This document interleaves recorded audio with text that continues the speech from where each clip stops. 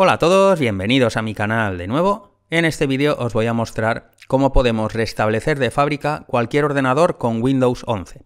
Esto va a ser una función bastante sencilla, pero a veces es necesario de hacer, sobre todo, por ejemplo, si queréis deshaceros ya del ordenador, o sea, lo vais a vender, se lo vais a regalar a alguien o lo que sea, pues no es necesario que tenga todos los datos que vosotros teníais, ni los programas y tal, se lo podéis dar totalmente limpio a la persona que lo vaya a utilizar y de esa manera pues el ordenador estará como el día que se compró. O si no, también si el ordenador empieza a ir lento, tiene fallos, tiene virus, cualquier cosa de ese estilo y no sabéis exactamente la razón y no lográis dar con la solución, la mejor opción siempre es restablecer el ordenador de fábrica y dejarlo como nuevo. Entonces, os voy a mostrar cómo hacerlo. Para cualquier marca, en este caso lo estoy utilizando con el Corebox 4 de la marca Chewy, pero va a ser exactamente igual con cualquier ordenador que lleve Windows 11. La primera forma es muy sencilla, lo único que tenemos que hacer es mantener pulsada la flecha de las mayúsculas, ¿vale? La flecha de poner las mayúsculas y ya está. Y tenemos que reiniciar el ordenador, ¿vale? Le damos aquí, le damos reiniciar y ahora simplemente vamos a tener que esperar a que nos aparezca un menú, que es el menú de seguridad, que es un menú con una pantalla toda azul, ¿vale?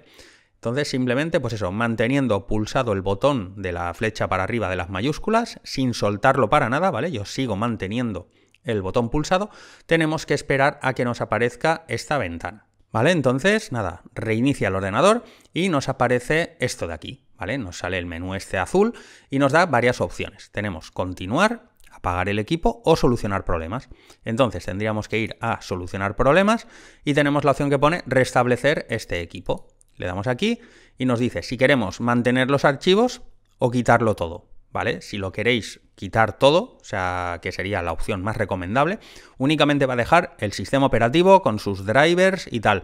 No va a guardar los programas que hayáis instalado, ni los archivos, ni nada de ese estilo. Esta es la opción más recomendable porque, claro, si tenéis algún programa, algún archivo o lo que sea, que es lo que está causando el problema, si mantenéis los archivos, pues es muy fácil que al volver a reinstalar siga habiendo el fallo. Entonces, tenéis que quitarlo todo. Antes de eso debéis hacer una copia de seguridad, claro, porque si tenéis algún dato importante se va a borrar. O sea, siempre antes de formatear un equipo tenéis que copiar todos los datos que necesitéis o pasarlos a un disco duro o alguna cosa de ese estilo. Entonces le daríamos quitar todo y ahora ya nos aparecen varias opciones. En este caso tendríamos que darle donde pone reinstalación local. Entonces, nada, le damos reinstalación local. Tenemos quitar solo mis archivos. Pone, usa esta opción si te quedas con el PC o limpiar toda la unidad si lo vamos a reciclar. Esto podría ser, digamos, pues eso, si lo vais a vender o se lo vais a dar a otra persona o lo que sea. Esto realmente lo que va a hacer es que va a hacer o un formateo rápido o un formateo lento. Entonces simplemente tenéis que elegir la opción. Si te lo vas a quedar, normalmente pues le damos quitar solo mis archivos y ya está. Y de esta forma el ordenador ya lo que va a hacer simplemente es un formateo rápido. ¿Vale? Y ahora ya directamente nos da la opción de restablecer. En este caso no lo voy a hacer así, lo vamos a hacer después porque quiero mostraros la otra forma, pero simplemente habría que darle restablecer y ya está, ¿vale? Entonces en este caso le voy a dar a cancelar y voy a arrancar de nuevo el ordenador para que nos salga la otra forma, que va a ser muy parecido, pero vamos a poder hacerlo desde Windows.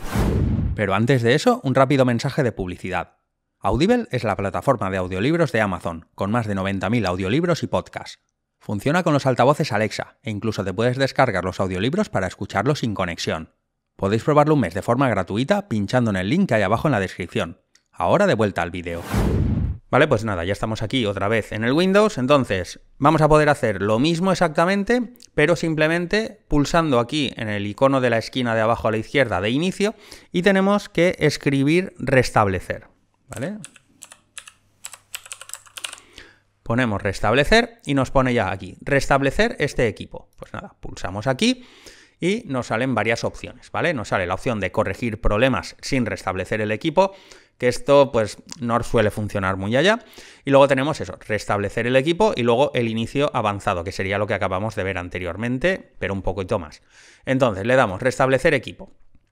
Nos dice lo mismo, mantener los archivos o quitarlo todo. Pues en este caso, quitarlo todo. Entonces, es lo mismo más o menos, pero simplemente que en vez de reiniciar el ordenador en ese menú todo azul, pues nos sale la pantallita esta y ya está. Lo mismo de antes, reinstalación local y nos dice, vamos a quitar las aplicaciones archivos, tal, o reinstalar el Windows desde este dispositivo. Entonces, pues nada, le damos aquí a siguiente y vamos a ver lo que nos aparece aquí.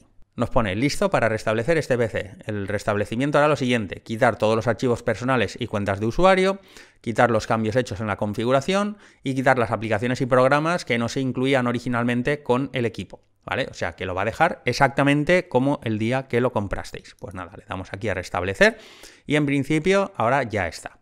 Este menú es un poquito más corto que el otro, pero es muy similar en realidad. Entonces, ahora ya simplemente tenemos que esperar a que haga todo el proceso. El ordenador seguramente se reiniciará varias veces y dependiendo ya de la potencia de vuestro ordenador, pues tardará más tiempo o menos tiempo. Ahora lo que voy a hacer es que voy a dejar que termine de hacer todo el proceso para que veáis que simplemente luego ya arrancamos el ordenador como nuevo y ya está.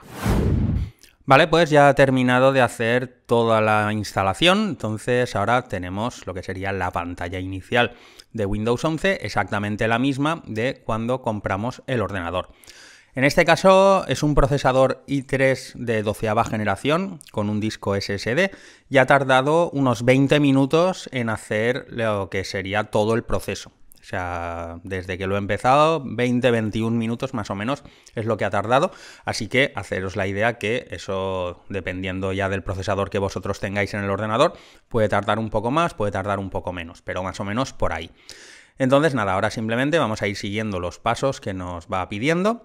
Elegimos el país y el idioma, Ahora nos dice eh, la distribución de teclado, en este caso como estoy en España, pues seleccionamos español. Si estáis en otro país o tenéis otro teclado diferente, pues tendréis que poner el que toque. Aquí podemos añadir otra distribución de teclado por si queremos tener varias, en este caso no es necesario.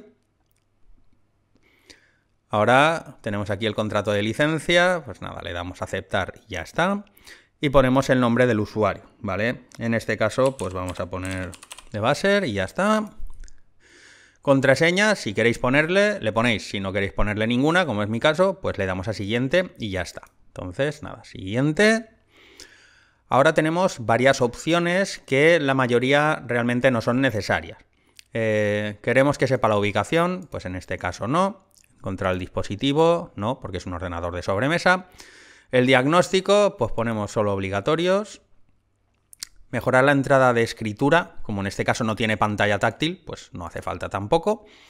Y ahora ya, pues en este caso vamos a decirle que sí a las experiencias de publicidad, porque en realidad va a dar igual, pero yo prefiero que me manden publicidad de cosas que me interesan que de cosas que no me interesan. Ahora ya simplemente vamos a dejar que el ordenador termine de hacer los últimos pasos y ya veremos cómo estamos dentro del escritorio. Y ya está, ha tardado menos de un minuto en hacer este último proceso y ya estamos en el ordenador con todo lo que sería el sistema operativo ya instalado y nuevo como el día que se compró. Ahora, si entramos en panel de control, vamos aquí a las categorías con los iconos grandes y si entramos en el administrador de dispositivos, veis que están todos los dispositivos perfectamente con su driver instalado y tal. Siempre es recomendable, si es un ordenador de marca, ir a la página de la marca y descargar las posibles actualizaciones que pueda tener de vuestro modelo. Entonces eso sí que sería necesario, igual que también hacer todas las actualizaciones que puedan haber pendientes. Esto simplemente tendríamos que conectar primero el ordenador a internet, en este caso no lo tengo conectado, pero simplemente lo conectamos, buscamos actualizaciones y ya está. Así que esto sería cómo formatear un ordenador con Windows 11 y dejarlo como el día que se compró exactamente igual. Así que nada, espero que el vídeo os haya sido útil y si os ha gustado podéis suscribiros al canal que es gratis. Yo de momento me despido. Nos vemos en el siguiente vídeo. Un saludo a todos. Hasta luego.